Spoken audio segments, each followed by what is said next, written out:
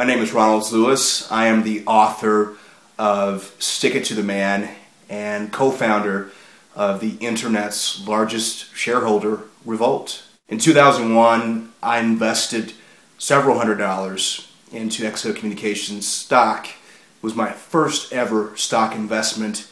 I tripled that investment in uh, within a three week period. Suddenly, news came out that trading was halted on the stock.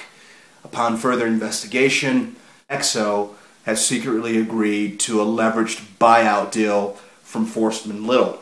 This meant that the shareholders' equity would be wiped out. I just invested my money, my hard earned money, into this company's stock. So I got together with a few folks online. This is prior to Facebook, Twitter. This is 2001.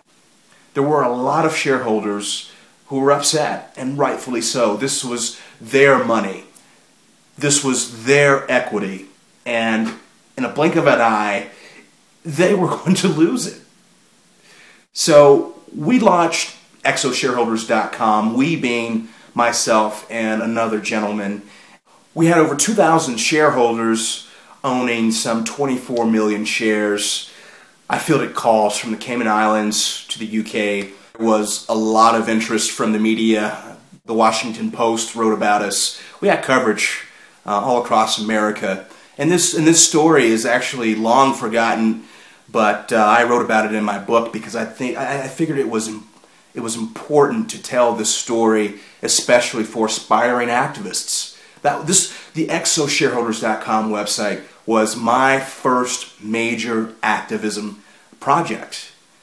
I didn't give much thought to signing on uh, to this this revolt against XO Communications. It, it, was just an automatic thing for me because, again, I had something at, at stake as well. Of course, not as much as some of the shareholders I spoke to, but I still had something at stake, and I did not want to go without a fight. I could not stand by watching XO and Forstmann Little take what was rightfully mine because it was my money. Unfortunately, we lost the battle, but we put up a good fight. We tried to save those 24 million shares from being wiped out.